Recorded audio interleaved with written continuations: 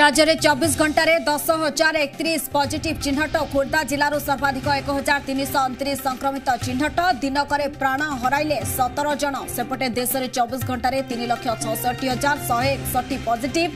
দিনকরে corona নেলা তিন হাজার সাতশ চৌবন আক্রান্ত জীবন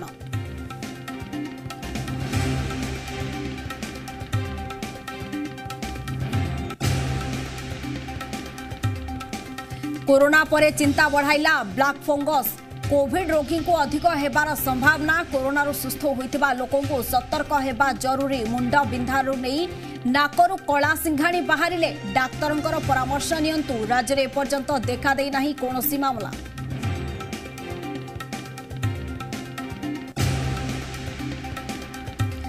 ପୁରୀରେ ମୁକୁଳା ଜଳପଥକୁ ସାହାରା କରୁଛନ୍ତି ପ୍ରବାସୀ ମତ୍ସ୍ୟଜୀବୀଙ୍କ ପାଇଁ କଟକଣା ଜାରି କଲା ପୁରୀ ପ୍ରଶାସନ ମେରାଇନ୍ ଥାନା ଅଧିକାରୀଙ୍କୁ ନଜର ରଖିବାକୁ କଡ଼ା ନିର୍ଦ୍ଦେଶ ଗଠିତ ହେଲା ସ୍ୱତନ୍ତ୍ର ସ୍କ୍ୱାଡ୍ ଡଙ୍ଗାର ଯାଞ୍ଚ ଓ ସୂଚନା ଦେବେ କୋଷ୍ଟଗାର୍ଡ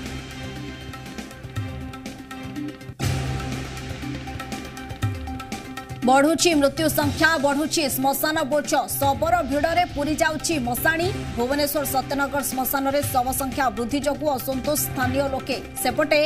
ଏଯାଏଁ ସ୍ଥାପିତ ହୋଇପାରିନି ପଟିଆ ଓ ଖଣ୍ଡଗିରି ମଶାଣି ବିଏମ୍ସି କମିଶନର କହିଲେ ଦୁଇଟି ସ୍ଥାନରେ ନୂତନ ଚୁଲା ପାଇଁ ଜାରି ରହିଛି କାମ